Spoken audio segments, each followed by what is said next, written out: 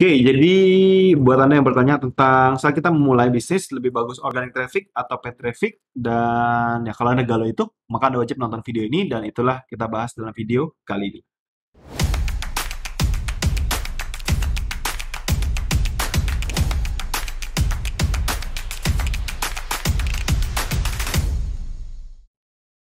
Hai, kembali lagi bersama saya Niko dari Social Media Market Ready, tempat Anda bisa belajar pemasaran melalui media sosial. Dan sudah topik kita tadi gitu ya, sebetulnya lebih baik mana sih sebetulnya antara organic traffic ataupun paid traffic yang perlu Anda bangun saat kita mengembangkan bisnis kita. Baik itu di media sosial gitu ya, di bisnis mana pun, uh, cukup banyak jadi pertanyaan dan yang boleh saya bilang cukup banyak yang buat galau gitu ya, karena memang dalam sejatinya traffic memang terbagi dari tiga gitu ya. Satu adalah uh, organic traffic yang mana kita bisa dapatkan dengan aktivitas rutin di platform-platform yang boleh dibilang gratis gitu ya. Kemudian yang kedua adalah uh, yang datangnya dari iklan berbayar atau paid traffic dan yang ketiga adalah namanya on traffic. Tapi yang kita akan uh, bahas secara spesifik yang dua tadi ya, uh, organic traffic atau uh, paid trafficnya. Nah, biar Anda dapat gambaran juga ya terkait dengan apa yang kita bahas, sebetulnya uh, saya akan share Anda tentang simulasi beberapa uh, gambar gitu ini adalah data yang di atau visualisasi yang diberikan yang saya ambil tepatnya dari uh, salah satu website namanya quickclips.com.au ya jadi website di Australia. Uh, nampaknya juga ngambil dari yang lain juga tapi visualisasinya sangat-sangat membantu kita sekali. Kenapa? Karena di sini ada menggambarkan tiga uh, spektrum gitu ya di mana spektrum itu pertama adalah dari struktur biaya dari waktu dan juga dari visibility itu adalah jumlah berapa banyak kita bisa lihat gitu ya.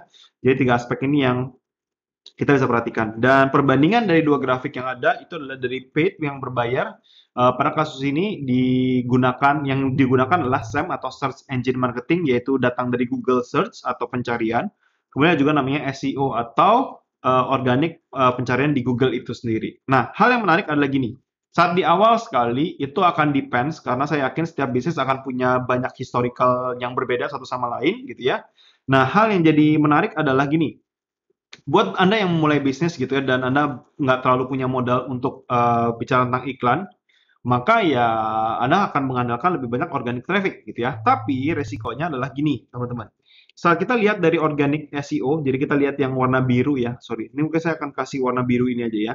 Saat kita lihat atau memper, uh, melihat dari gambar yang biru, Anda bisa perhatikan gambar biru itu diwakili dari grafik yang seperti ini, teman-teman.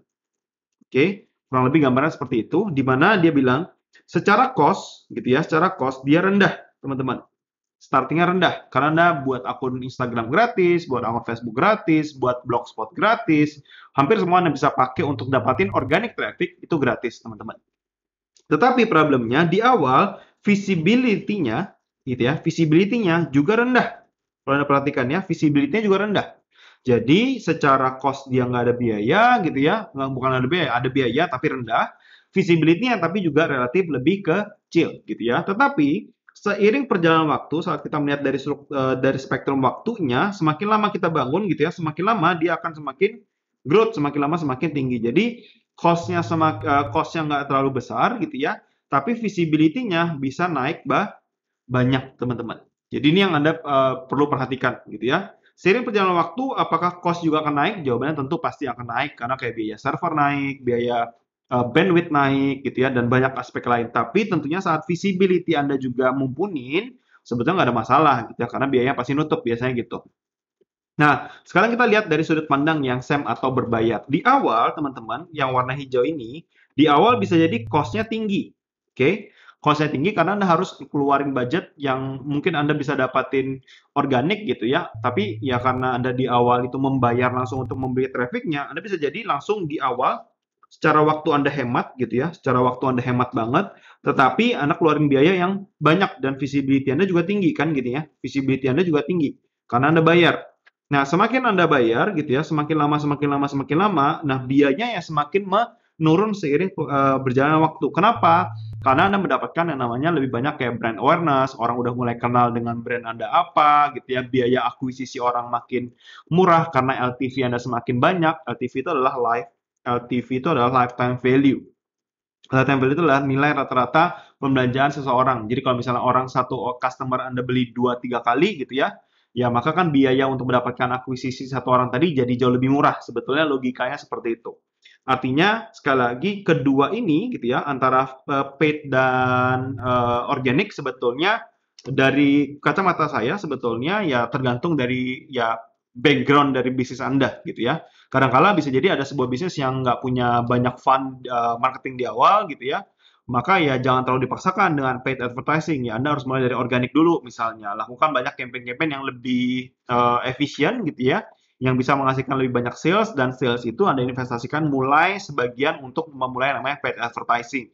Anda mulai beriklan, kemudian iklan itu bisa uh, semakin banyak mendatangkan customer gitu ya, brand awareness Anda juga semakin meningkat, orang yang beli juga bisa di retain agar bisa lebih sering beli sehingga Anda bisa lebih banyak dapat profit dan Anda investasikan kembali baik itu mengembangkan organic trafficnya termasuk juga ngembangin paid trafficnya.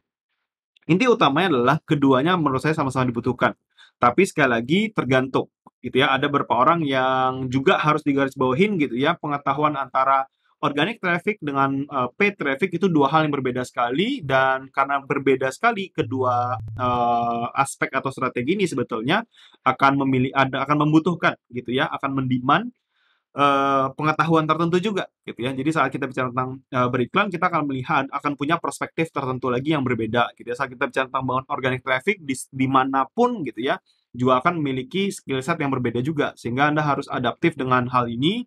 Mana yang lebih better saya yakin uh, keduanya sama-sama better, teman-teman.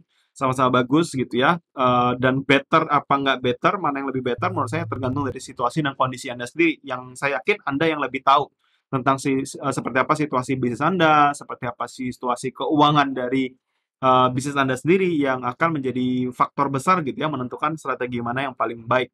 Uh, walaupun gitu ya pada kebanyakan kasus gitu ya organic traffic itu uh, harus juga dibangun. Karena jangan sampai gini maksud saya. Uh, saat anda ya udah saya mulai dari paid traffic aja karena karena lebih cepat kan gitu ya. Yang nggak ada masalah tapi jangan lupakan organiknya sama halnya kebalikannya. Saat anda punya organic traffic anda bangun gitu ya anda mulai dari organic traffic jangan lupakan juga ada paid traffic karena keduanya sama-sama akan mengimbangi kok. Sehingga saat uh, bicara tentang long term anda akan punya di di semua spektrum Artinya saat Anda uh, Anda mungkin organic traffic total drop gitu ya, saya nggak tahu mungkin dengan update dari media sosial, update dari sebuah platform, kemudian organic reach-nya total drop gitu ya. Ya kalau Anda nggak uh, apa namanya, uh, kalau Anda nggak punya pay traffic atau Anda nggak paham pay traffic, ya bisa jadi bisnis Anda bisa drop juga gitu. Ya. Jangan sampai terjadi. Uh, sama halnya kebalikannya gitu. Ya. Jangan sampai saat paid Anda terlalu mahal, Anda udah nggak bisa kompetisi makin banyak gitu ya. Kemudian makin lama makin banyak persaingan, orang juga uh, berani bid lebih mahal dari Anda, kemudian uh, Anda nggak udah minus ceritanya saat Anda bayar iklan tersebut, kemudian Anda jadi nggak positif uh, return on investment Anda gitu ya.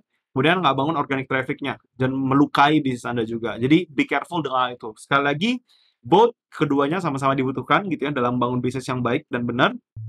Dan semoga Anda dapat ideasnya gitu ya. Saya lebih pada sharing aja dari pengalaman yang saya miliki gitu ya, yang saya dapatkan selama ini, biar Anda dapat wawasan dan gambaran tentang gimana sih cara kita mengembangkan ini semua.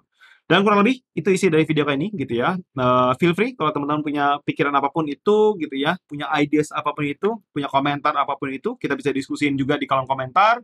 Dan pastikan juga jangan lupa untuk subscribe di channel ini gitu ya, untuk bisa mendapatkan video-video terbaru dari kita terkait dengan pemasaran di media sosial lainnya. Dan itu aja dari saya Niko dan sampai jumpa di video-video yang lain.